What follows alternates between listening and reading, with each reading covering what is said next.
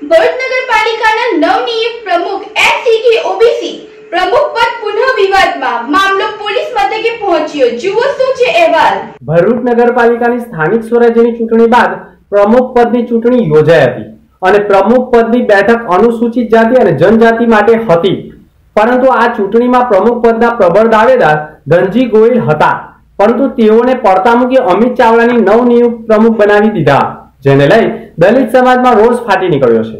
પરંતુ નવનિયુક્ત પ્રમુખના દસ્તાવેજી જ્ઞાતિ અંગેના પુરાવા સામે આવતા ચોંકાવનારો વિસ્ફોટ થયો છે.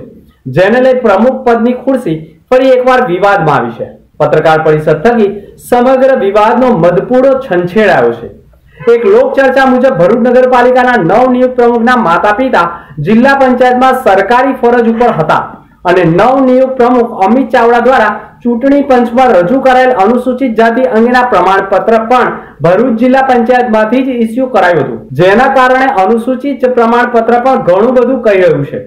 શું માતા પિતા જિલ્લા પંચાયતમાં ફરજ ઉપર હતા અને જાતિનું પ્રમાણપત્ર જિલ્લા પંચાયતમાંથી જ ઇસ્યુ કરાયું છે?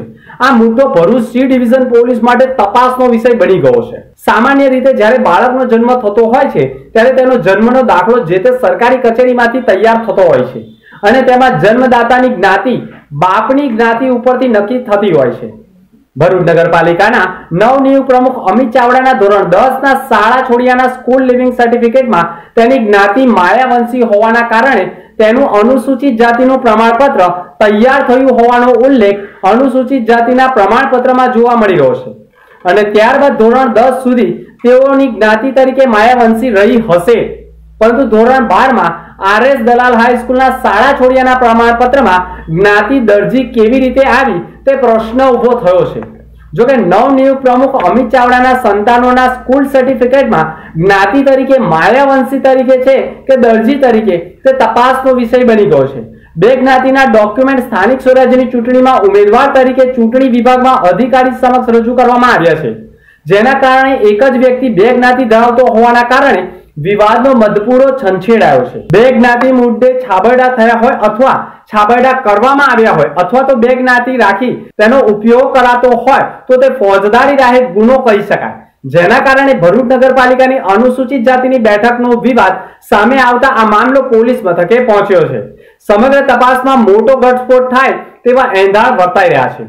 જો કે હાલ તો સમગ્ર પ્રકરણમાં નવનિયુક્ત પ્રમુખના બે જ્ઞાતિના દસ્તાવેજી પુરાવાને લઈ સી ડિવિઝન પોલીસ મથકે મામલો પહોંચ્યો છે. અને સી ડિવિઝન પોલીસ મથકે એક ફરિયાદ અપાઈ છે. જેમાં દસ્તાવેજી પુરાવા સાથે છેડછાડ થઈ હોવાના આક્ષેપ સાથે ફરિયાદ આપવામાં આવી છે. સમગ્ર પ્રકરણમાં પોલીસ દ્વારા પણ યોગ્ય કાર્યવાહી નહીં કરવામાં આવે તે સમગ્ર પ્રકરણ ફરિયાદ દાખલ કેમ ન કરવી તે ડાયરેક્શન માટે હાઈકોર્ટમાં પણ ફરિયાદ કરવાની કવાયત વકીલ અશ્વિન ખંભાલા દ્વારા કરવામાં આવનાર હોવાની માહિતી સાંપડી રહી છે.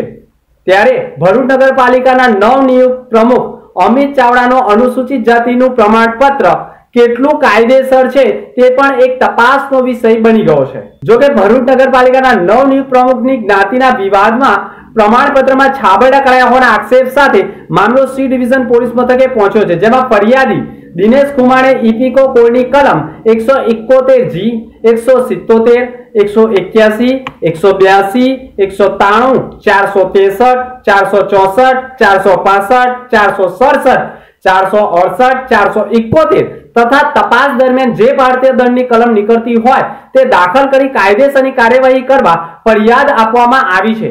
જેની નકલ ભરૂચ એસપી રાજેન્દ્રસિંહ ચુડાસમાને પણ પહોંચાડવામાં આવી છે. તેમ પત્રકાર પરિષદમાં જણાવાયું હતું. ભરૂચ નગરપાલિકાના પ્રમુખની ચૂંટણીનો વિવાદ હાઈકોર્ટ સુધી પહોંચ્યો છે. જેનું મૂળ કારણ એ છે કે ભરૂચ નગરપાલિકાના પ્રમુખ ઉપપ્રમુખની ચૂંટણીનો નિયમ ચાર મુજબ જે નોટિફિકેશન બહાર પડેલું, એ નોટિફિકેશનમાં બહુ સ્પષ્ટ જણાવેલું કે અનુસૂચિત જાતિ બેઠક પર ચૂંટાયેલા ઉમેદવારની પ્રમુખ તરીકેની પસંદગી પામવામાં આવશે, કરવામાં આવશે. પરંતુ એ નોટિફિકેશનનો ભંગ થતાં દિનેશભાઈ વીરાભાઈ ખુમાણે, નામદાર ગુજરાત હાઈકોર્ટમાં ભરૂચ નગર સેવા સદનના પ્રમુખની ચૂંટણીને પડકારતી એક પિટિશન દાખલ કરેલી જે પિટિશનની અંદર નામદાર ગુજરાત હાઈકોર્ટે જણાવ્યું અને માર્ગદર્શન આપ્યું કે તમને આ સંદર્ભમાં જો કંઈ ગ્રીવન્સીસ હોય, તો તે ગ્રીવન્સીસ ગુજરાત નગરપાલિકા અધિનિયમના રૂલ સાડત્રીસ મુજબ તમે જે તે સત્તાધીશ અથવા ઓથોરિટી સમક્ષ રજૂઆત કરી શકો છો અને આ રજૂઆત તમે ચાર મહિનામાં કરી શકો છો. અને જો આ રજૂઆત પછી કોઈ નિર્ણય લે કે ના લે અથવા તમને એ નિર્ણયથી તમે વ્યથિત બનો તો તમે ફરીથી નામદાર ગુજરાત હાઈકોર્ટમાં આવી શકો છો. અમે તારીખ છ ત્રણ બે હજાર એકવીસના રોજ નામદાર ગુજરાત હાઈકોર્ટના માર્ગદર્શન મુજબ અમે નગર નિયા, ડાયરેક્ટર નગર નિયામકને રજૂઆત કરી દીધી છે અને જે પ્રમુખ છે તેમની સામે બીજો એક વિવાદ છે જ્ઞાતિ સંબંધમાં. અમારી પાસે અને જે ચૂંટણી સમક્ષ તેમણે રજૂ કરેલા દસ્તાવેજો મુજબ એકમાં એવું છે કે તેઓ દરજી જ્ઞાતિના છે અને બીજી, બીજા એક પ્રમાણપત્રમાં એવું છે કે તેઓ માયાવંશી શેડ્યુલ કાસ્ટના છે. એટલે એક વિવાદ છે. તો એ સંદર્ભમાં પણ અમે બી ડિવિઝન પોલીસ સ્ટેશનમાં ગઈકાલે, સી ડિવિઝન પોલીસ સ્ટેશનમાં ગઈકાલે એ પીકો ચા એકસો તોતેર, જી, એકસો એકાણું, એકસો બાણું, એકસો ત્રાણું, ચારસો પાંસઠ, ચારસો સડસઠ, ચારસો એકોતેર મુજબની એક ફરિયાદ રજૂ કરી છે. અને તેની નકલ અમે ડીવાય ડીએસપી શ્રીને પણ અમે મોકલી આપી છે.